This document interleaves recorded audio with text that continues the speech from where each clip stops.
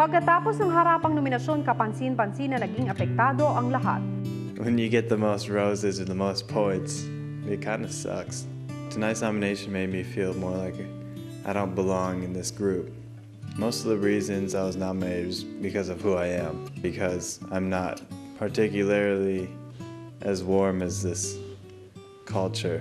So it kind of irritates me. It makes me feel like I'm an outsider.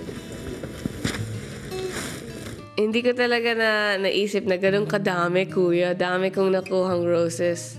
Wala pang Valentine's Day.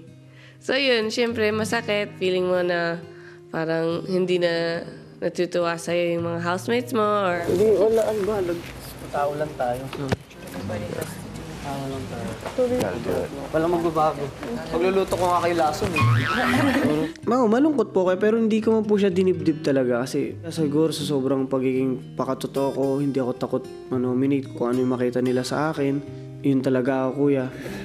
I will still love you. I'm not.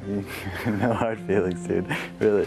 Kuya, I don't want to change who I am just because of what they think of me. Maybe ask them to accept me for who I am. No hard feelings. Just a game. It's my third nomination. It's just harder when it's face to face in front of everyone. They tell me my mistakes and my flaws. It feels awful. Sobrang powerful ng salita ng tao na kaya makasakit. Tagus eh. Sa pag-stay ko po dito, ito po ang pinakamahirap. Buti nga. Walang below the belt na nagsalita sa atin. Igagamitin ko na nga lang pong gabay yung mga sinabi lang negative sa akin, kuya, para i-improve ko yung sarili ko. Hindi na maganda. Wala palang tinatagong galit. Hey, kapamilya! Be updated with the Pinoy Big Brother housemates by clicking the subscribe button and watch all the latest videos by clicking the I button above.